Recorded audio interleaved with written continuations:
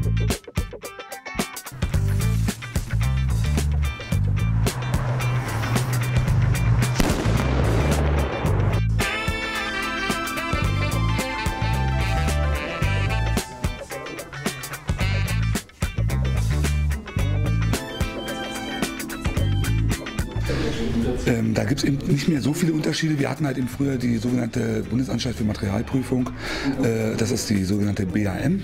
Die BAM-Nummer, die auf jedem Artikel früher draufstehen musste, die ist seit Mitte dieses Jahres äh, quasi äh, abgelaufen, erloschen.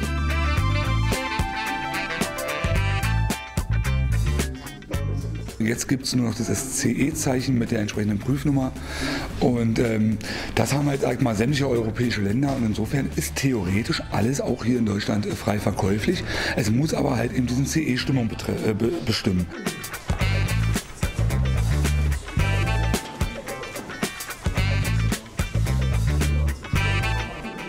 Und dann gibt es dann auch noch diese berühmte 589, die steht auf jedem Artikel drauf. Das sagt dem Bürger, dass, ähm, dem Kunden, äh, dass diese, dieser Artikel hier in Deutschland äh, geprüft wurde und auch diese CE-Nummer hier in Deutschland vergeben wurde.